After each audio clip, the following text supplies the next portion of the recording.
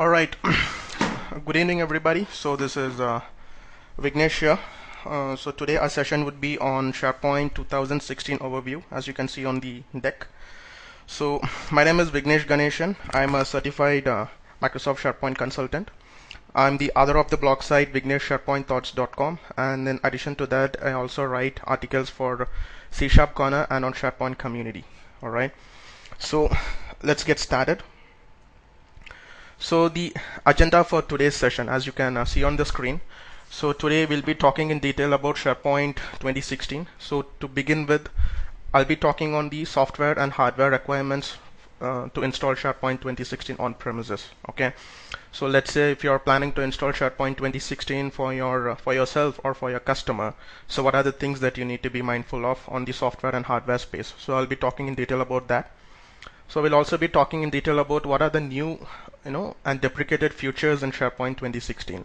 So what is that Microsoft has removed when it uh, launched SharePoint 2016, and what are that Microsoft has introduced in SharePoint 2016 version? All right. So of course I'll be talking about some deployment guidelines as well as the best practices to be followed while installing SharePoint 2016 and I'll be giving some insight on the migration approach towards SharePoint 2016 okay? So let's say if you or your or your customer is looking forward to migrate to SharePoint 2016 okay? So what is that they need to be mindful of okay? Uh, I mean is it okay? Can they do a migration directly from SharePoint 2013 to 2016 if yes so what are the th uh, what are the things that they need to care about before migrating? Or let's say if they are migrating from SharePoint 2010 to 2016 so is that even feasible? So I'll be talking in detail about stuff like that and the real meat of today's presentation would be on feature packs so as well as on MinRole and zero downtime patching. All right so this is something which uh, me and I hope everybody would be so interested to uh, learn about. So I have some pretty good slides on that and I'll make sure that you gain some good insights for yourself in these topics. And at last we'll be doing a recap and I'll conclude. I'll also be taking some questions at the end of this session I hope you're all good. So I'm moving on with the presentation for now. So uh, to begin with let's talk about the evaluation of SharePoint. Okay as you can see on the slide. So SharePoint started somewhere in 2001 and it has come all the way till SharePoint Server 2016 okay so it has just come a long way. Myself as a SharePoint consultant I had the privilege to work on MOSS right from MOSS 2007 till SharePoint 2016 I believe there would be few folks on the uh, on this session who would be you know would have worked on 2001 and 2003 but the agent I mean the keynote here is from all this way SharePoint has gained a lot of future. SharePoint has indeed come a long way. At least if you see what you used to get on SharePoint 2010 and what you used to see on SharePoint 2016 I think Microsoft has did a phenomenal job in bringing more capabilities and more features and more enrichment which can you know enhance the way we do business with SharePoint okay. So you can just take a good look at this deck for yourself. So and I also given some uh, context out there like when content management was introduced so when cloud and enterprise social features were introduced. Okay.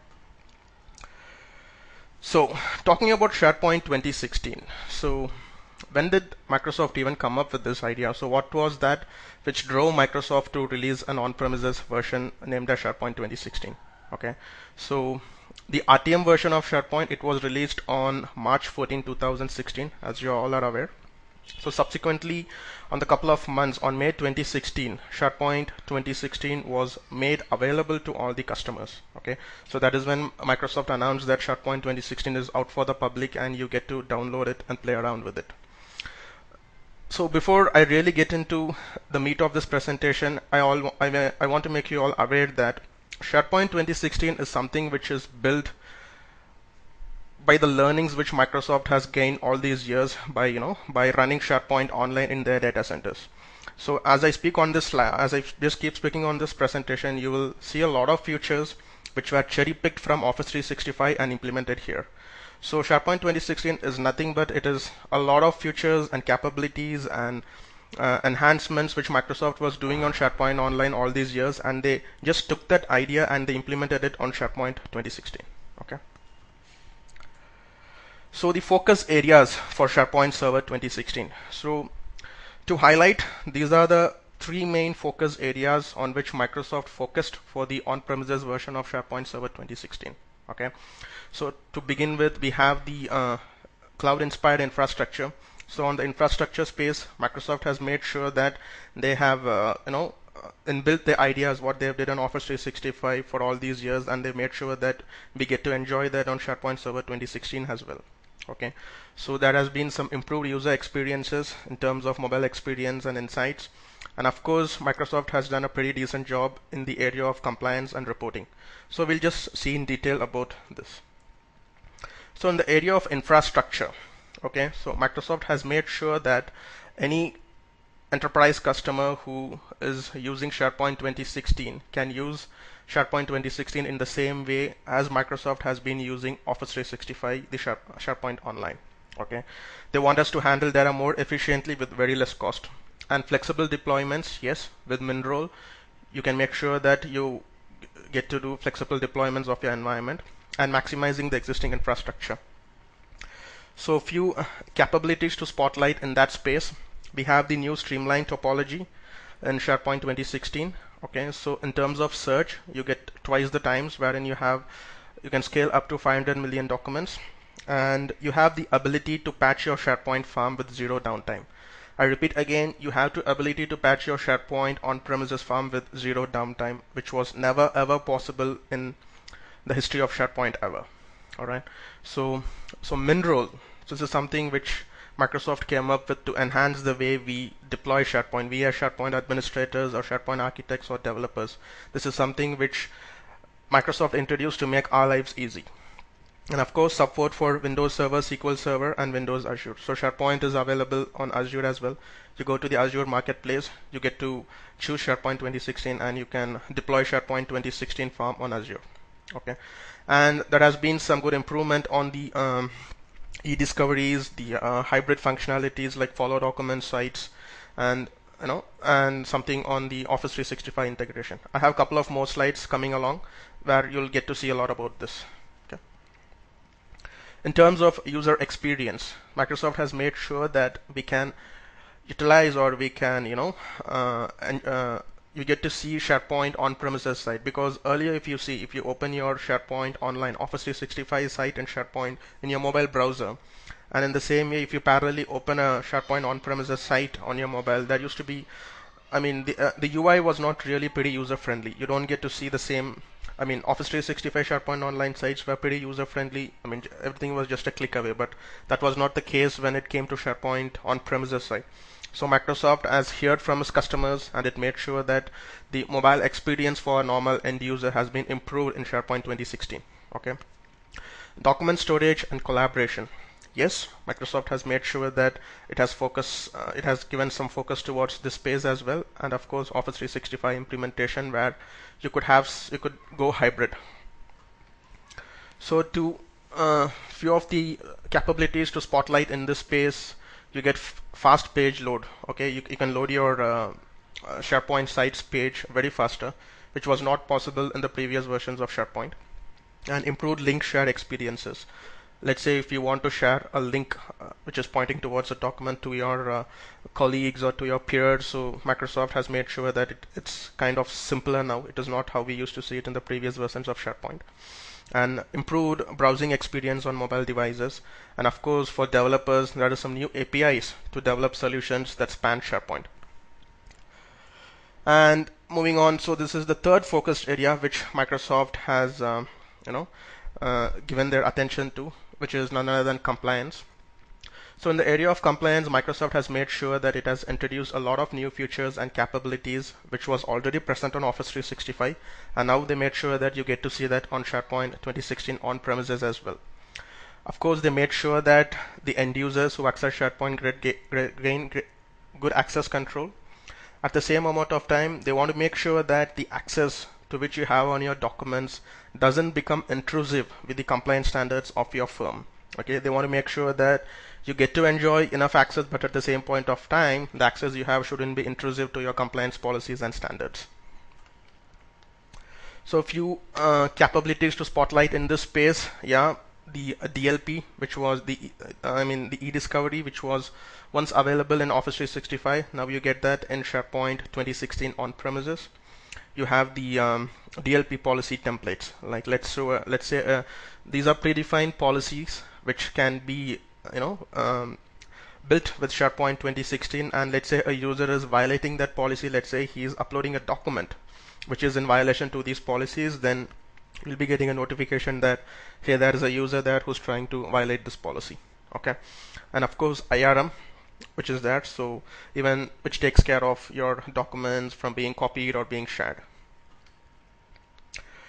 so these are the main hardware requirements as far as SharePoint 2016 is concerned so let's say the business comes to you and they say that all right we need to go ahead with implementing SharePoint 2016 on premises okay so these are the uh, hardware requirements which you need to be mindful of. So the contents which you see on the slide, those are just specific to a single server. Okay. So this is, you have to just multiple multiply this with the total number of servers which you are planning to use. So for single server role that uses SQL Server, you get to use a 16 GB RAM, 16 GB RAM, and then 64-bit 4-core processor with 80 GB of system hard drive.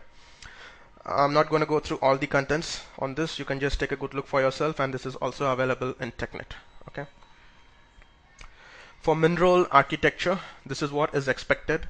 And for folks who already are aware of what MinRole is all about, I believe this slide would make sense to you. And for folks, for I mean, who are hearing the term MinRole for the first time, I'll be explaining detail about what MinRole is all about and how it works and uh, where did this all come from and why would any I know what is the benefit we gain out of choosing MinRole okay? So in terms of software requirements for SharePoint 2016 so in order we just took a look at the hardware requirements. So in terms of software requirements the latest generation of Windows and SQL Server is needed okay? So let's say if you're planning for uh, SharePoint 2016 then you need to make sure that you're running Windows Server 2012 R2 standard or data center version. And similarly uh, it could be either 2012 R2 standard or 2016 standard or data center version. The same way for SQL Server Microsoft has made sure that you have to use Microsoft SQL Server 2014 Service Pack 1 or SQL Server 2016 and I mean as, as I already you know in my previous webinar I was talking about where Microsoft is going going with this right? If you see about SharePoint 2010 the software and hardware versions for that was totally different. Similarly if you see on 2013 it was something like uh, SQL 2008 R2 or SQL 2012 and Windows Server 2012 and so when it comes to SharePoint 2016 Microsoft has made sure that you get to use the latest version of SQL and operating system. And that is one way of Microsoft to push ourselves to use their new products. Okay? So SQL Server the Express version is no more supported. Uh, you cannot have a SQL Express version installed and point your SharePoint farm towards that. It's just not gonna work you need to make sure that you're using the enterprise version of SQL and you know that's how things have changed in SharePoint 2016 so the prerequisites this is similar to what you used to see on SharePoint 2013 on premises. Um, the most painful area which I would like to call as because you know when you're uh, installing SharePoint uh, let's say if your farm your server is connected to online it's pretty easy you just need to click on the you know download prerequisites it's gonna download everything and install it for you but if that's not the case and if you have to download all these prerequisite files and then install it manually I hope most of you would be aware of the pain, you know, the kind of uh, pain you have to go through while doing this because most of them would won't run as expected. You get to see a lot of errors. I mean, indeed, it's a good learning to work with this, but of course, it has its pain points as well. So these are the supported browsers as far as SharePoint 2016 is concerned. Okay, let's say your business says uh, our production farm should be on SharePoint 2016, right? You also need to make sure that all the uh, client operating systems which end users use have the correct browser version to support SharePoint 2016. Let's say your company uses Windows 7 operating system and the default in that is you know Internet Explorer 8. You need to make sure that your your end users are upgraded to Internet Explorer 10 or above. Only then they get to access a SharePoint 2016 site. So just in case if any of you who attended this session are working towards SharePoint 2016 please make sure that you talk to your business and make them aware that you're running the you know the supported browser version and of course Microsoft Edge, the latest version which you get on Windows 10. For some reason, this product is still in development phase. There has been a lot of bugs which has been identified, and Microsoft is actively working on fixing all those bugs. But still, it supports SharePoint 2016, and it, SharePoint 2016 just works great there. I've tried it for myself, and I just can't complain about anything there. So some boundaries and limits. So as you can see on the slide, Microsoft has made sure that they have uh, you know increased the boundary limits on SharePoint 2016. If you can clearly compare the columns between SharePoint 2013 as well as in SharePoint 2016, you could see a tremendous increase in size.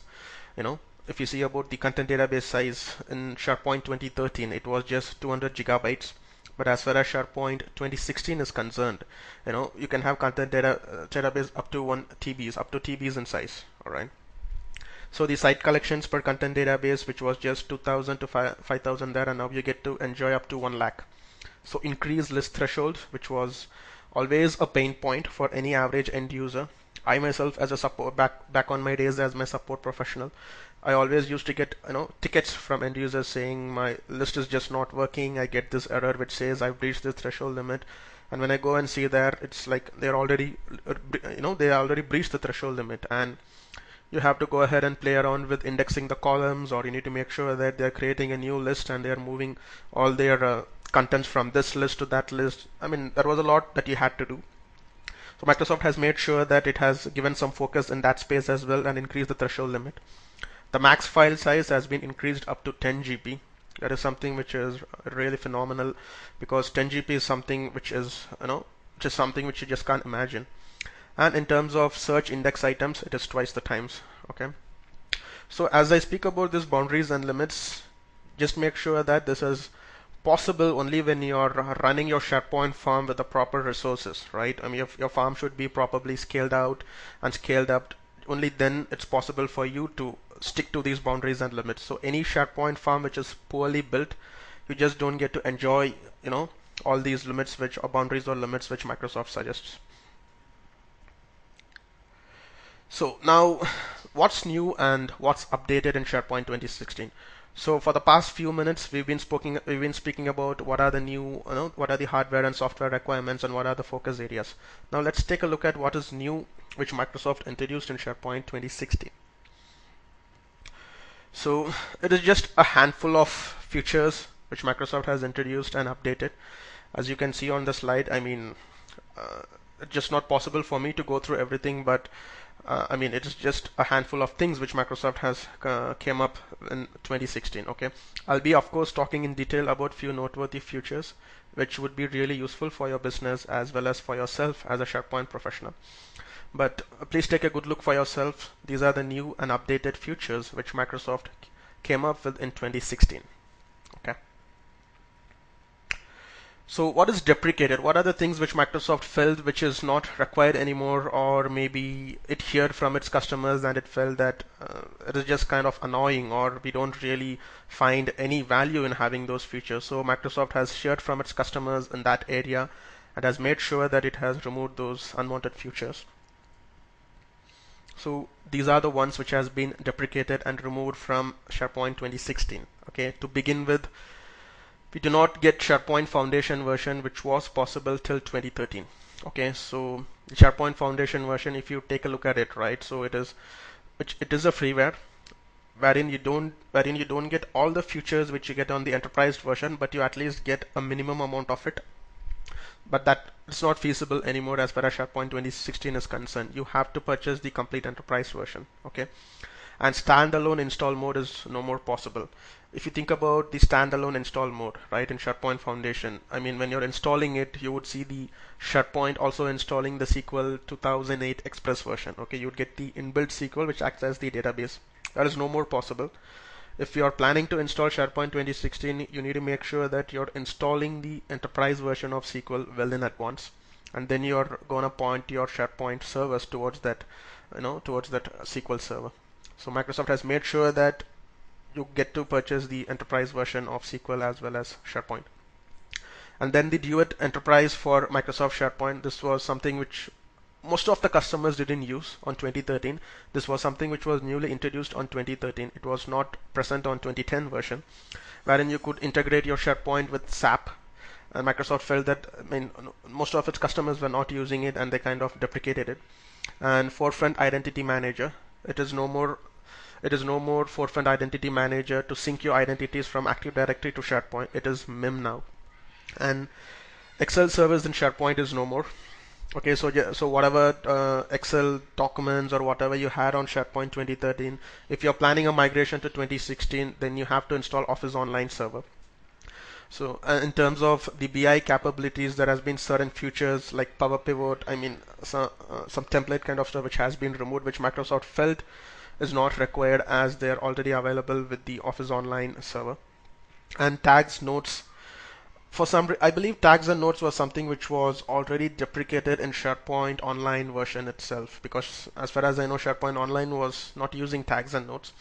And the good old I mean the good old the most powerful stsadm.exe is it's still there but Microsoft will be deprecating it. And the uh, work management service application I'm not sure how many of uh, you folks have actively used this but I just really wonder why Microsoft would remove this, you know, this uh, brilliant service application. If you think about the work management service application, right? So what it really does is, if you go to your SharePoint uh, uh, My Site, right, in your on-premises, you would see an option called as My Tasks. Okay, so what happens in those My Tasks is, let's say, if you're running a project site and whatever the task which has been given to you in your uh, project, let's say your Microsoft project, you get to see all those tasks which has been synced with you will be showing up in your uh, SharePoint my site on that my task uh, section. And also whatever tasks you set on your SharePoint task list the inbuilt SharePoint task list even that would show up there. And whatever task you have in your uh, Outlook in your Outlook you have an option to set up your task list right you need to make sure that SharePoint is being integrated with Exchange so using this work management service application you could sync all your task lists from your project server as well as from your Outlook as well as from your SharePoint task list and it just gives you a generic view under your My Task in SharePoint My Site. For some reason Microsoft felt that most of its customers are not using it and it has announced that it will be deprecated. And there is no new version of SharePoint Designer or InfoPath for SharePoint 2016 like we had on SharePoint 2013, right? And SharePoint 2013, we used to get the designer version of SharePoint 2013 as well as InfoPath 2013. So Microsoft hasn't come up with any new such uh, version for SharePoint 2016. You, you can use the InfoPath version 2013 as well as SharePoint Designer 2013 to customize your uh, SharePoint 2016 site. So hybrid futures. So what are the futures which are which can go hybrid?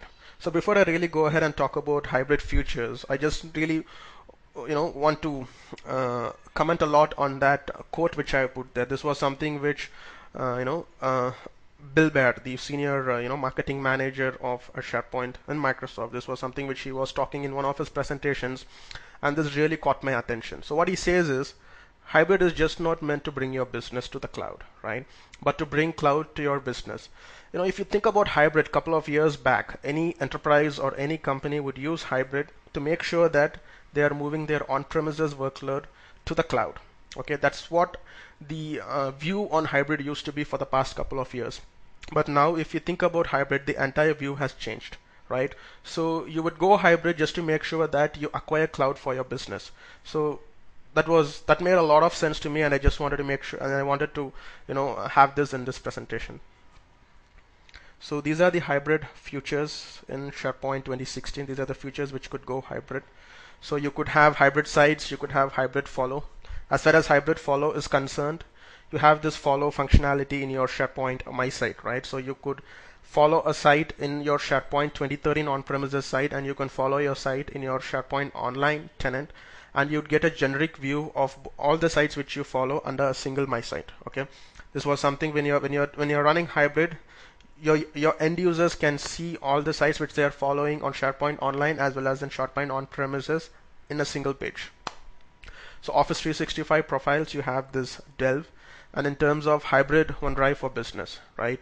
With hybrid OneDrive for business, what you gain is, let's say a user in his SharePoint on-premises site is trying to access is OneDrive for business folder. Okay, so you can make it hybrid in such a way that every moment an end user clicks on his OneDrive for Business, it redirects him to the OneDrive for Business folder in the cloud in Office 365. Because what you get in cloud is one terabyte of OneDrive for Business space.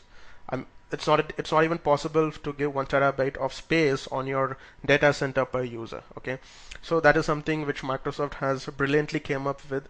It's made sure that you could go hybrid with OneDrive for Business, and of course you have the cloud hybrid search so with using cloud hybrid search, so an end user can make sure that he gets to search for a document on SharePoint on premises, as well as he gets he gets the results for let's say he's searching for something called as uh, uh, some HR policies or something. Let's say whatever is kept on on premises or whatever is kept on online will be showing up in the search results.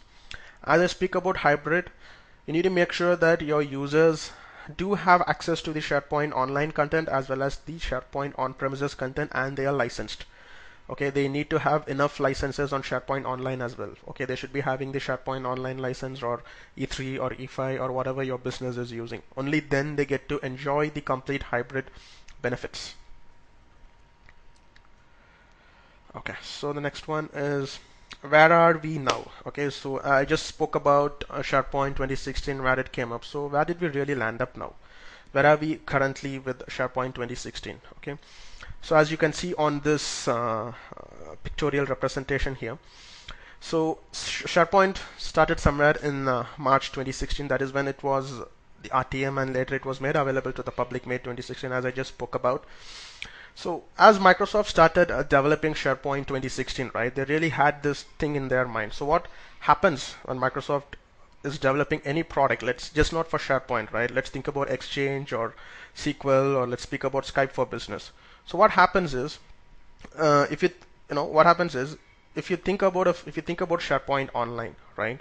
you would get to see a lot of features, new features and new functionalities coming up just every now and then. You will just see a news that Microsoft is introducing this new feature in SharePoint Online and boom, next week you will be seeing it sitting there. But as far as SharePoint on-premises was concerned, for the same feature to show up in on-premises, it took a lot amount of time. So what Microsoft would be doing is they'll be developing a product which would be taking, uh, let's let's talk about SharePoint, which might take two to three years where they have to code SharePoint 2016 and on top of that they spend another one or one and a half years in testing all the uh, functionalities which they have developed in SharePoint. And then they keep testing it with all the you know with all the bug fixes and all those kind of stuff. So what happened at some point of time is for a feature to show up in SharePoint online the same feature to show up in SharePoint on-premises there was such a big lag wherein it used to take at least four years. If you're seeing a feature today on SharePoint online for the same feature to show up on SharePoint on premises it would at least take three to four years. And Microsoft thought that they had to do something about that because they didn't want to keep doing that anymore. Okay? So what they thought about is they needed they had to come up with something called as public updates as well as converge code base. Okay? If you think about the updates or any fixes which come to you right the fixes come to you in vehicles such as cumulative updates or maybe hot fixes but most of these cumulative updates and hot fixes are they're just bug fixes let's say any bug which is represented which is you know which from end users is given to Microsoft right?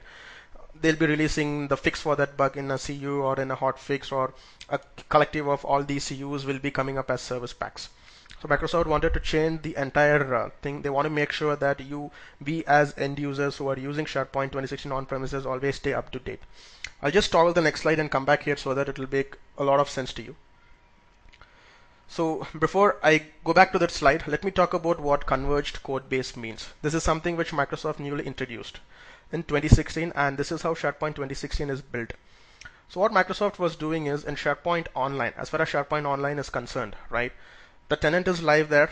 You just keep seeing the site working perfectly fine and parallelly on the back end they'll be working on pushing new features new bugs and all those things and you just wouldn't even notice when they even done that right the next day you come to office, you see all of a new feature showing up that it's just sitting there and you didn't even realize when did Microsoft even do this? I mean, with, with no downtime, they were just they were just capable enough of doing that. So Microsoft thought that they took that idea within themselves and they implemented the same. When, when we say converge, it is like in parallel. So the code which Microsoft used for SharePoint Online, the source code which Microsoft was using for SharePoint Online, was implemented on SharePoint 2016 on premises. Okay, now, now the benefit about using the same source code is that, let's say if a feature has been pushed in SharePoint Online, right? that feature has already been tested by millions and thousands of users because they just keep using that every day. Any user who's using SharePoint Online, he'll be using the same. Alright, so there is no need for you to even test it. The same feature, if you push it to SharePoint server on premises, right? The same source code. Obviously, you're going to remain up to date. And that is what Microsoft thought that they didn't want that lag. They didn't want that release cadence to come up. They didn't want to see a future showing up in SharePoint Online three to four years and there is a delay you know between the on-premises version as well as the online version. So Microsoft thought that we had to do something about it. So the idea which they came up with to use the source code for SharePoint online and SharePoint and push that to SharePoint on-premises 2016 that is one reason which you see uh, most of those features which you used to see on SharePoint online showing up in SharePoint 2016 on-premises. Now I'm going back to my previous slide where I was showing you about where we are now. Alright so now the big news about SharePoint 2016 is SharePoint 2016 you do not have service packs anymore in SharePoint 2016 okay? So if any of you who attended this session are uh, waiting or thinking about service pack 1 should come up sometime in next year. So please don't wait anymore because there is not going to be service packs in SharePoint 2016 okay? And SharePoint 2016 we have feature packs. There is no more uh, service packs. So let me just take you through this so here, instead of, you get these public updates, which is none other than cumulative updates, where Microsoft keeps pushing some of its features as well as its bug fixes. Okay, so let's say on May they pushed a public uh, on they, they pushed a PU, and let's say on the subsequent June or July they keep pushing the other PU. So you'll be seeing bug fixes as well as new features coming up with all these public updates. Okay you just wouldn't even realize when all these things are being pushed. And all of a sudden with feature pack 1 feature pack 1 is nothing but the November PU for SharePoint 2016 okay the name which Microsoft gave for uh, November PU is called as feature pack 1 it is something similar to a service pack where all of a sudden let's say on PU July there was some feature which Microsoft introduced which was on building phase. Okay on let's say on August there was some of PUs which they fixed which some features were on the building uh, where they were just testing about it. All of a sudden you'll you'll be getting the complete version of that feature on the November PU so what happens is let's say if you're a user here who installed 2016 and then you install the public update here and then you install this for some point of time you won't even be realizing the new future showing up. But Microsoft is indeed pushing it on the backend all of a sudden when you come up with the November PU right you'll be seeing all these new features. So the uh, point which you need to catch here is it doesn't mean that all of a sudden you go ahead and download the PU for November and you, you just shouldn't think that okay I downloaded I get to see all the features from here. No that's not the way it works. Things are getting pushed from here. You need to make sure that you keep on updating everything and that is when you get to enjoy the complete functionalities of feature pack 1 okay so that is how it has been designed. And uh, as I spoke about you know so in Feature Pack 1, you will be seeing many features. I'll be talking in detail about that on my very next slide. So Microsoft has also discussed, they also announced that they'll be introducing a new Feature Pack on 2017, that they already started working on it this entire idea of feature pack was announced by Microsoft sometime on uh, if I'm not wrong sometime on uh, May on a on a conference at San Francisco I believe. So that is when they announced that we'll be coming up with a new feature pack and this is how we would like to work on SharePoint 2016 moving further. Okay so but they were at least six months ahead of their schedule because the feature pack 1 release was planned on 2017 but they managed to give it well ahead in schedule on November 2016 okay. So as I speak as I keep moving on the slide the content the, the topic of feature pack would make more sense to you. Since we already spoke about this I'm moving on. So once again I reiterate the source code of SharePoint Online was used on SharePoint Server as far as 2016 is concerned. This is something new which Microsoft wanted to do and the results were really phenomenal. So feature packs as I just spoke about to avoid the uh, release cadence, the two to three year release cadence Microsoft has heard from its customers. They need to make because the their customers were not really as far as the on-premises customers were concerned, right? Because the online customers they get to enjoy every new features every now and then, but that was not the case as far as on-premises customers were uh, as, as far as on-premises customers were concerned, right? So they heard from the customers and they made sure that the same features which you see on SharePoint Online, you also get to enjoy that on SharePoint 2016 as well.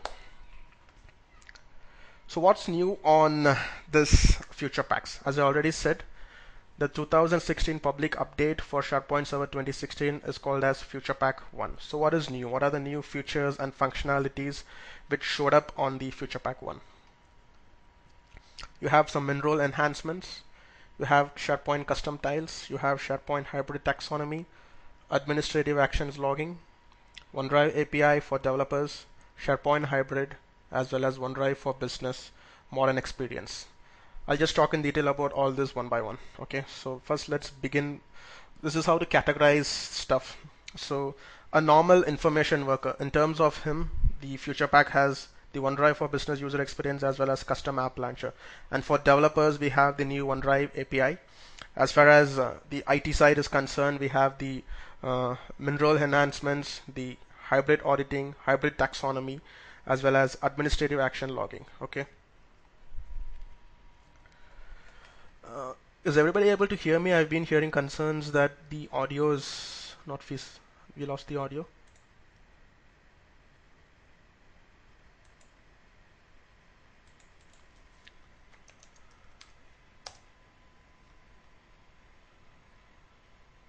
Can everybody hear me? Hello?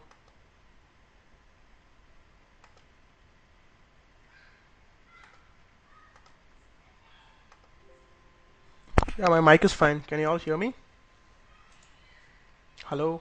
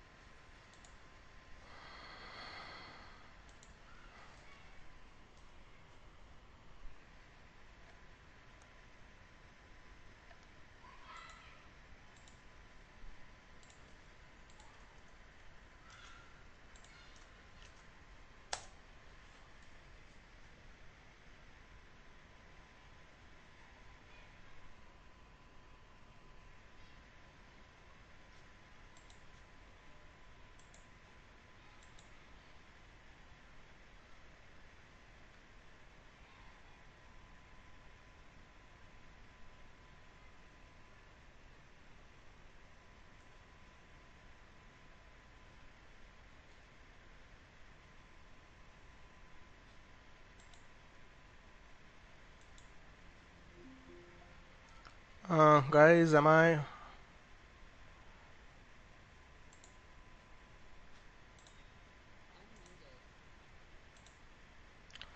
Am I audible now? Hello? All right. Okay, uh, guys. I just I'm not sure where I lost the audio. Can you let me know which ex which exact topic? I don't want to make. I just want to make sure that you didn't lose anything. Where exactly was the audio lost? I mean, if you could put that on the chat, it would be great. Like where exactly the audio was lost. Lost. Yeah. So and and you can see my screen as well, right?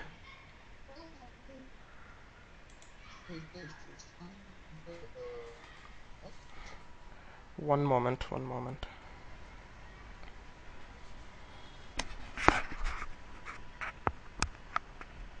Okay, okay, got you.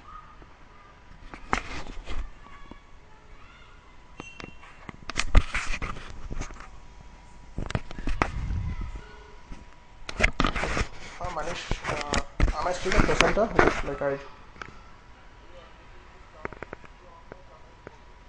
Okay, okay, but presenter rights is still with me, right? Okay, fine, fine. Thank you.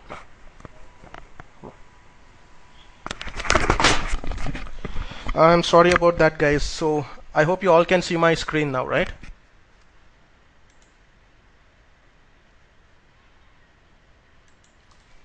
Can everybody see my screen? Guys just confirm that